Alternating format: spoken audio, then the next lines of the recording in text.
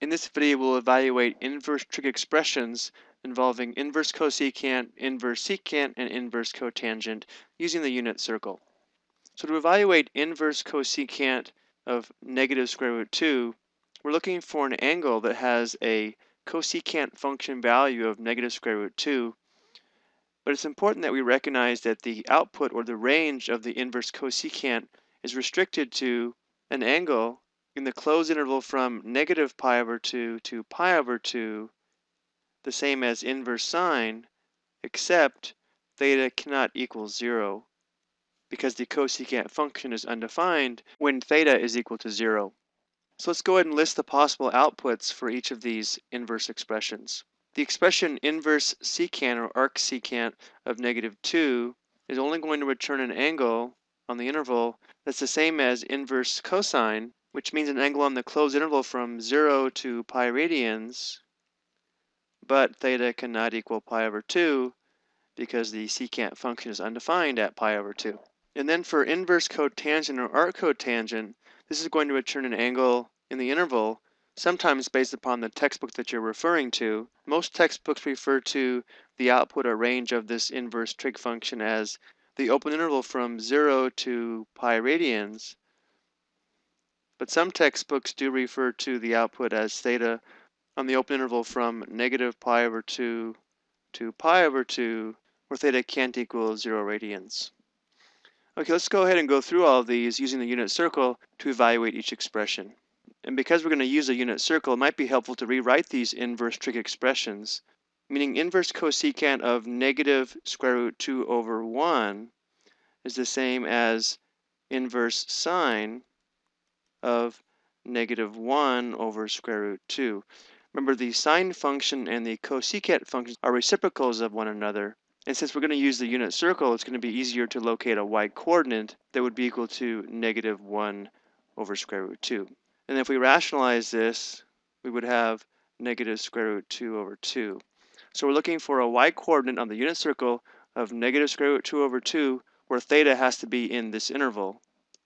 So angle theta must be from 0 to pi over 2 radians or from 0 to negative pi over 2 radians. So here's the y-coordinate that we're looking for, which means the terminal side of our angle must pass through this point on the unit circle, where this would be our initial side. So in order to have this terminal side in this interval, we'll have to rotate clockwise 45 degrees. That's going to be negative 45 degrees or negative pi over 4 radians. For the second example, we have inverse secant of negative 2, which is the same as negative 2 over 1. So except at pi over 2, inverse secant of negative 2 over 1 would be equal to inverse cosine of negative 1 over 2. They're reciprocal. And again, this is helpful for using the unit circle because now we can look for an x-coordinate on the unit circle of negative 1 half on the interval from 0 to pi.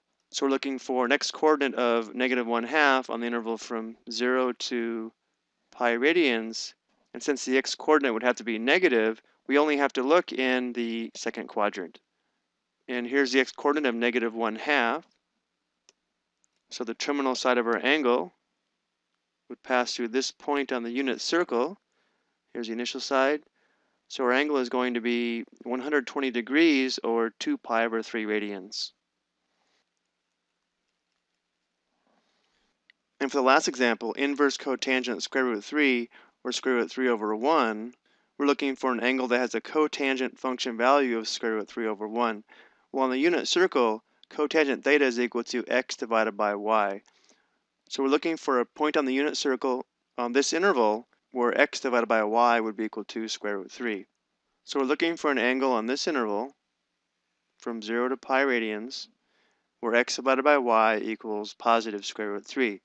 So we only have to look in the first quadrant. Looking at this point here, we have an x-coordinate of square root 3 divided by 2 and a y-coordinate of 1 half or 1 divided by 2. So x divided by y would be square root 3. So the terminal side of the angle must pass through this point on the unit circle. So our angle theta is 3 degrees or pi over 6 radians. Let's just go ahead and verify that x divided by y is square root 3 we would have square root 3 over 2 divided by 1 half, which is the same as square root 3 over 2 times the reciprocal. The 2's simplify out, and we're left with square root 3. I hope you found this helpful.